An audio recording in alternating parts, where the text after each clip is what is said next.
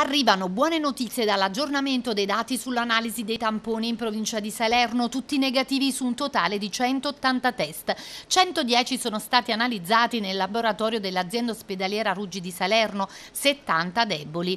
Ad essere negativi sono i tamponi sui contatti avuti da campagna dal secondo caso di Covid-19, un ragazzo rientrato dalle vacanze. Il primo cittadino Roberto Monaco nella giornata di ieri ha anche deciso a scopo precauzionale di emanare un'ordinanza che obbliga ad indossare la mascherina sempre 24 ore su 24 fino al 31 agosto, ampliando quindi il limite orario imposto dal provvedimento nazionale. Come dicevamo, il secondo caso positivo registrato a Campagna rientra nella casistica di nuovi contagi di rientro dalle vacanze. In provincia di Salerno si contano 8 casi.